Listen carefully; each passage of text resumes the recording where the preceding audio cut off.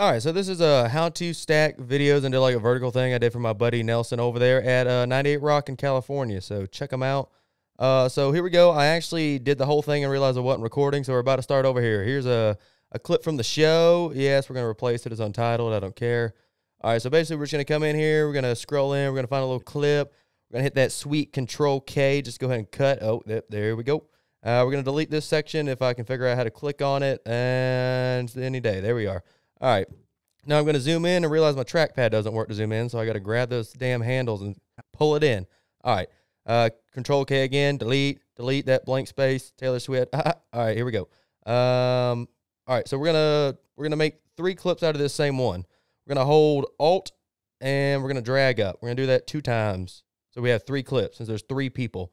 And then I was gonna like we're gonna go up here to sequence settings go ahead and change this. Then my brain started thinking after I typed that first number in and I was about to type that one in. I was like, yeah, let's just wait on this because it's actually a little easier if we come back afterwards and go ahead and change that. So we're going to go up here to crop now. Uh, in your effects panel over there on the right, you just drag that on there on each one of them. I don't know why I'm moving so damn slow. I'm missing clips and everything. Okay, and then this one, I'm like, I don't even know if I have it. Maybe I do. Okay, we do have it. All right, we're going to close these other two out so it's kind of blank so uh, we know where we're cropping.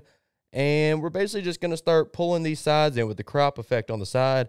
It's a lot easier with a mouse, but I do have that damn trackpad. I got to get a mouse. So we're going to pull it in over here, and it's hard to see because everything's fucking black. I'm sure you can probably change the crop color at some point, but uh, I didn't do it here. This is basically just like a how-to. Uh, you, you know, your video is going to be different, so just kind of play around with it. And that's pretty much how you do all three of them. You can skip to uh, the next part. I'm about to do the other two, or you can listen to the color commentary. All right, so we got old J Bay up top. We got him cropped out. All right, now we're gonna go over there and get Nikki in the bottom right. Basically, just gonna do the same thing. Just bring that in and just black everything out. Okay, all right, too far. All right, we came back a little bit. And once you get these values, like if you record the same way, then you're gonna be good. So you just type those in on the left instead of dragging and moving. As you can see at the end of this video, I didn't quite get the crop all the way. It was just basically a quick tutorial on the idea of what to do. All right, so we're about done with Nikki here, I think. Um, she looks a little more square than Jason, but that's all right. We're going to unhide him, I mean, unhide Nikki and go over here to Nelson in the bottom left. His camera, I don't know. I feel like we got a lot of dead space up top, which is kind of why it might be a little weird on this one. Same thing, though. Uh, we're just going to pull in from the top, the right, the bottom, a little bit of the left.